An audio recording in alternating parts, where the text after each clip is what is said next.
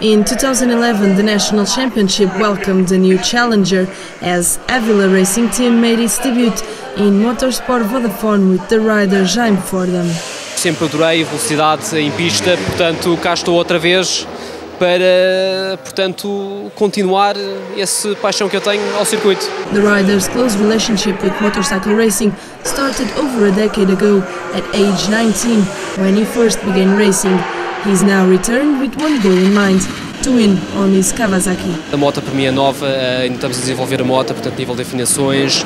Eh, tem uma moto que tem um comportamento muito, muito específico, tem um caráter muito difícil, portanto, infelizmente, os prognósticos deviam ter sido feitos no fim do campeonato, mas não, foram feitos no início do campeonato, eh, portanto, não diria que eu estou a cumprir os meus, portanto, os meus objetivos, mas estou a gostar muito do campeonato, está, está a ser muito positivo. The team was born from a partnership with Avila Business Centers, a brand that shares the same core values as the sport itself. A tecnologia, a inovação, a modernidade, a juventude de espírito deste desporto tem, tem muito a ver com uh, a atividade que nós desenvolvemos e Uh, e também com o facto de nós somos uma empresa muito virada para a tecnologia e para a inovação. Avila Business Centers is a Lisbon-based provider of business center solutions and also a pioneer of technological solutions for business center needs. Temos a primeira aplicação mundial de, de, escritórios virtuais, o MyOffice, que é um dos patrocinadores também desta, desta equipa.